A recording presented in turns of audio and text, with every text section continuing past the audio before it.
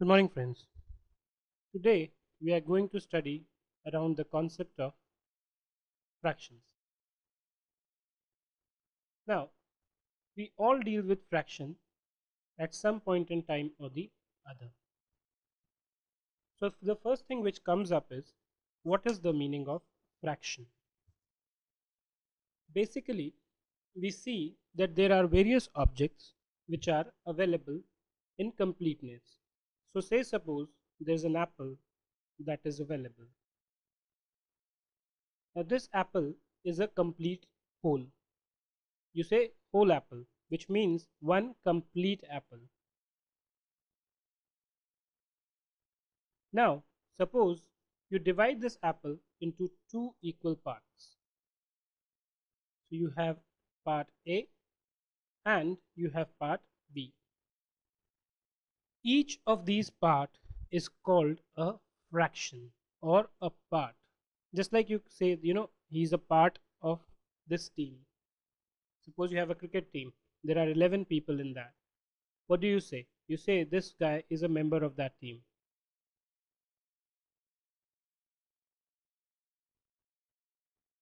What does that mean? That basically means that he is one of the players in the team. So, likewise, fraction means part of. And when it is called a fraction, basically, fraction refers to equal parts. So, if you divide this apple, say, into three unequal parts, suppose you have this apple you divide it like this 1 2 3 so this is 1 this is 2 and this is 3 these parts are not equal so therefore they are not called a fraction. A fraction is a part of a complete whole which is equal to the other fractions in that part. Now how do you write fraction? You saw you had whole numbers natural numbers and integers numbers which were 1 2 3 4 and so on. These are all the components. Now what do, what what does this part represent? If i were to ask you you know what does this part represent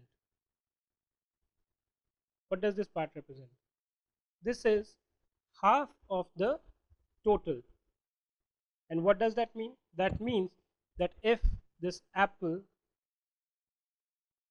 is divided into how many parts? This is divided into two parts. This is what? This is one part out of the two parts of the apple.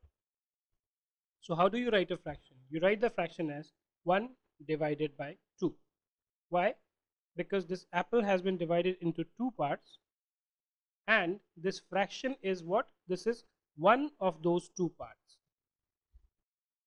Suppose if this apple were divided into three parts, and let's for a moment assume that all these three parts are equal. Then what does this particular fraction represent? This is one part of the three fractions of this apple. So you write it as 1 by Are you clear? Let me explain this to you through another example now.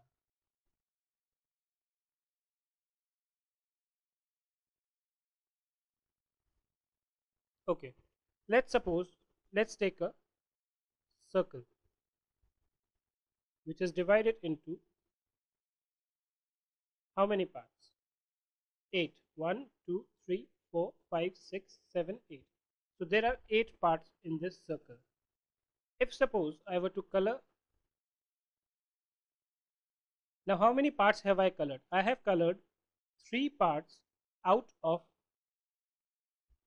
8 if I have to write this as a fraction, a fraction is basically a representation of a portion of a part of one complete whole.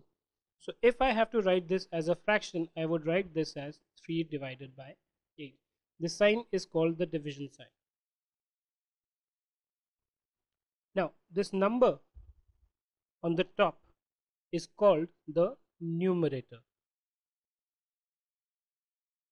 and the number which comes in the bottom is called the denominator.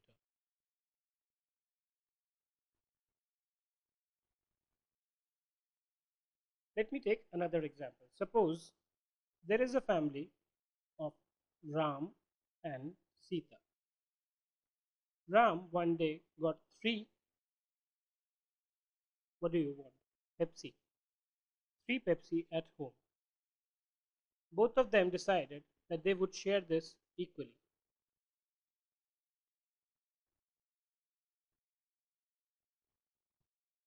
Now we know by simple division both of them will get 1 and 1.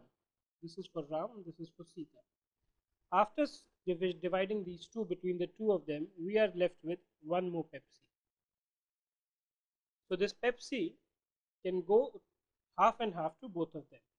So how many part do we need to divide this Pepsi into? How many people are there? There are two people, Ram and Sita. So this has to be divided into two parts. So this 2 is my denominator. How much would Ram get? Ram would get one part out of this 2. So he gets one part out of 2. So he gets half of this thing. What is remaining is another half which goes to Sita. So fractions are basically meant to find out a proportion of the total thing. Suppose, again, let me take another example here.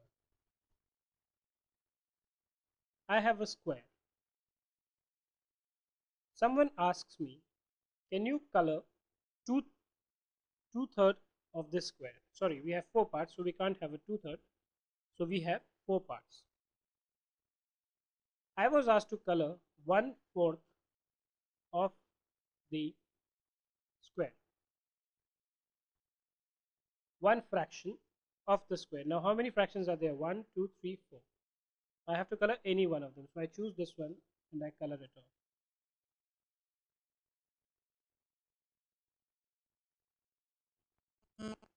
If suppose I was supposed to ask half of the square.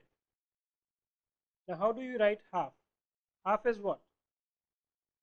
Half is how do you arrive at a half of a apple? By dividing it into two parts. So dividing by 2. And how much is half? It's only one part of this. So 1 by 2 or how many parts are there in this? There are 4. So I multiply both of them by 2. So 2 by 4. So what I do is I color the second half as